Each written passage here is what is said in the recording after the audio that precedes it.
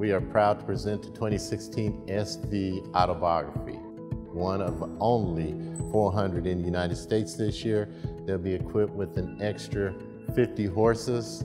This is one with the two-tone paint job, the unique interior. You're gonna have the upgraded trays that pop up out of the center console with the champagne flutes and iPod holders, and the extra leg room and reclining seats.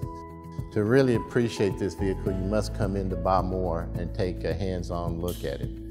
To touch it, to sit in it, to feel it, the fine leather, the interior space is unmatched.